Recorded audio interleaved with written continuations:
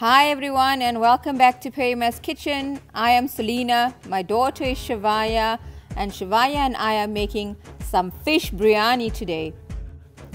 There are so many variations, everybody has their own technique. I will share with you my method and I hope you try it out. Let's get cooking. I've taken two and a half cups of long grain basmati rice and I've washed it thoroughly. I'm now just adding boiling water, a few sticks of cinnamon, and half a teaspoon of turmeric.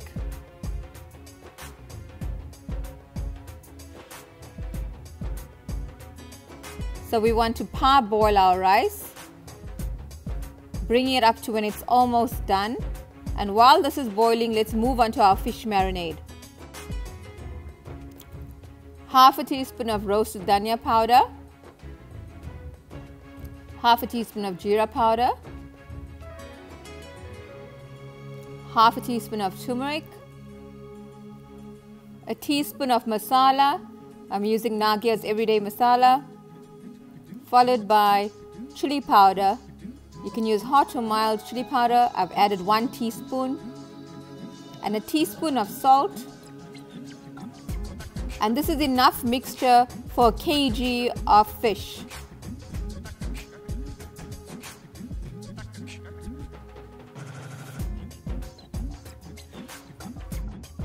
So I'm using barracuda today, fresh barracuda. And these are lovely slices. What I love about barracuda is that it's quite a firm fish, so it's easier to handle and it just has that center bone. I've washed my fish and now I'm adding fresh lemon. Half a lemon, I'm just squeezing out all the juices. For the purpose of the video, I'm using a very flat platter but I am still effectively able to get that juice all over. Next, you can add a heaped teaspoon of garlic. If you've got the ground ginger and garlic, just use that as well. And then again, just evenly rub it all over your fish. You can then literally spoon some marinade onto a plate or in a bowl and just make sure all of your fish is coated.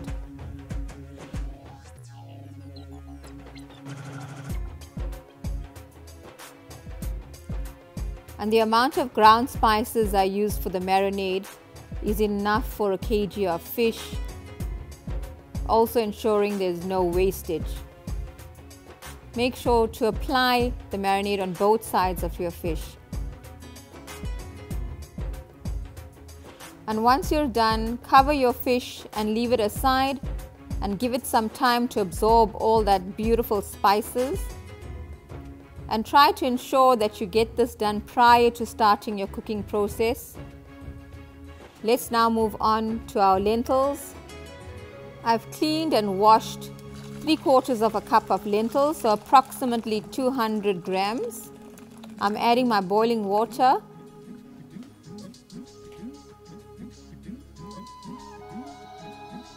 as well as salt to taste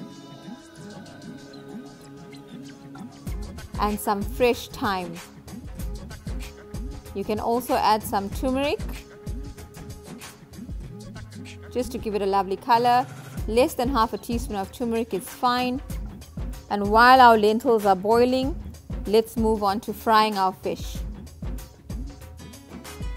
I've added my oil and you need to wait for it to get hot Here's my beautiful marinated fish. The barracuda looks stunning.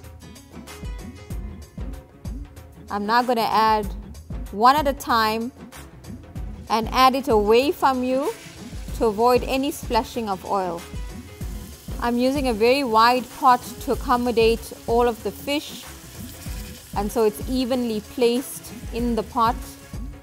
As a guideline, I usually fry my fish for about 10 to 15 minutes on the first side and when I flip it, a further 10 minutes. Try to use a very wide or flat spoon when you are flipping your fish so that we don't break it. But if it does break, don't worry, it just adds to the flavor. and when you are serving it's going to break anyway. Once you've turned them all over, we're going to let it fry for a further 10 minutes on the other side. And if you have any fish stuck to the bottom of your pot, that's just going to add to our flavor because we're going to use the same pot to braise our chutney. I'm now ready to remove the fish. Use a slatted spoon to remove any of the excess oil. All this oil is going to be used now in our chutney. So if you are frying your fish, use the same oil. If you're doing it separately like in a pan, then just transfer the oil to your pot and braise your chutney in the same oil. Let's not waste all that delicious yummy flavor. So I've just placed my fish aside. You don't have to put on a roller towel. You can still use all that yummy flavor left behind.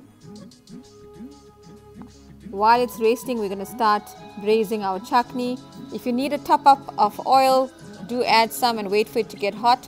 I've just added some cinnamon sticks, half a teaspoon of jeera seeds, and about three whole cloves. If you have ground cloves, you can use that as well. And if you're using clove powder, you only need a quarter teaspoon of clove, followed by some bay leaves. I'm also adding fresh thyme and a stem or two of curry leaves and let that fry in the oil. I have two onions that I've sliced. I'm going to use most of it now and leave a little behind which I'm going to saute in some butter and oil and try to caramelize it slightly so we can add it to the top of our biryani for our presentation. So I've added most of it now and we want it to fry together with all of our whole spices and fresh herb. And once your onion is slightly translucent, we are ready to start adding our ground spices. First a teaspoon of jeera, our cumin powder, followed by a teaspoon of roasted dhania powder, our coriander, half a teaspoon of garam masala, followed by 1 teaspoon of somph,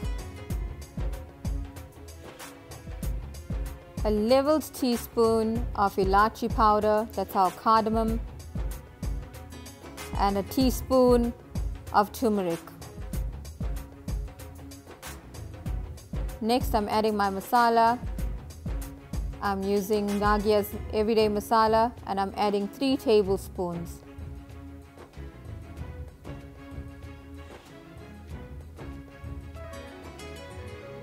Followed by my Kashmiri chili powder. You can use mild or hot and I'm adding 2 tablespoons. Mix all of your ground spices into the oil. Just for a few seconds, turn down your heat if you need to. And I'm going to add my jam tomatoes, which I've liquidized. You can also grate them if you wish. I've liquidized 8 jam tomatoes. Half I liquidized with a handful of mint and half on its own. First I'm adding the half on its own, so about 4 liquidized tomatoes, followed by my combination with the mint. Always add a touch of water when you are liquidizing. In different dishes I use different herbs, but in fish biryani I love mint. Add a teaspoon of sugar and this will help to balance the acidity in the tomatoes. Mix everything together and then you can add salt. Add enough salt for your chutney. Remember that we have added salt to our marinated fish as well. Followed by some freshly cut coriander and mint. I used about two handfuls of coriander and two handfuls of mint and we want this all to simmer together in the chutney. I will let it simmer and then I will also add some garlic cloves. I don't want it to melt in the chutney so therefore I add it a little later. The whole garlic cloves are optional. You have added garlic to your fish as well.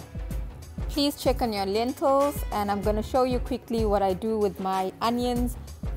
I first add 3 tablespoons of butter. Allow that to melt. You can quickly microwave it as well if you wish but because I'm going to fry up my onions I'm just doing it on the stove at the same time. Once the butter has melted add most of it to your bowl and leave a little behind. We're going to use that when we're frying our onions. So I've kept a little bit of butter in my pot and as soon as it starts to simmer you can add your onions. I also add a dash of oil the butter is for the flavor and the oil is for the caramelization. So my onions are ready. I will set it aside. I'm going to add some garlic cloves to my chutney. And once it's ready, I'm going to start layering my fish. It's been about 5 to 10 minutes. My chutney should be ready.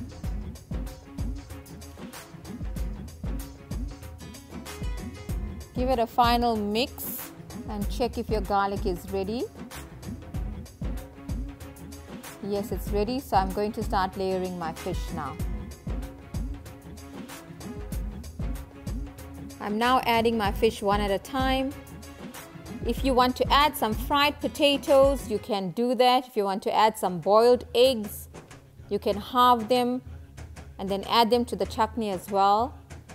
Today I'm going to enjoy just my beautiful barracuda once you're done adding all of your fish, make sure you scoop all that lovely chutney on top of all of your fish. I've drained my lentils and I'm going to layer it on top of all of the fish and the chutney. Distribute your lentils evenly throughout and once you're done just give it a slight pat down. Next I'm going to add my basmati rice I have taken a bowl full of rice out and added some egg yellow coloring. I've left that aside. And once I'm done adding all my rice, I'm then going to add my egg yellow rice. Again, scoop it on and make sure it's evenly distributed throughout the top of your rice. I'm now going to add my butter and the circular motion just helps me ensure I get it right through evenly. I'm now also adding my caramelized onions. If there are any that are too dark, you can just take them out. Add some fresh mint and then close your lid and let it steam for approximately 10 to 15 minutes on a very low heat. You can also steam your biryani in the oven for a little longer. I don't like to leave it in for too long because it does tend to dry out. But within 10 to 15 minutes on the stove top, it's done. It looks fantastic and the combination of the spices with the lentils and the rice made it such a comforting, satisfying meal. The fish was still so succulent and moist. I really hope you try this recipe as well. And if you do, please let me know in the comments. As usual, all the ingredients used in the recipe will be found in the drop down description below. Kindly subscribe. Please hit the notification bell so you are notified when a new video is uploaded. Please like and share and your comments are always very welcome. See you again soon in Perima's Kitchen. I am Selena.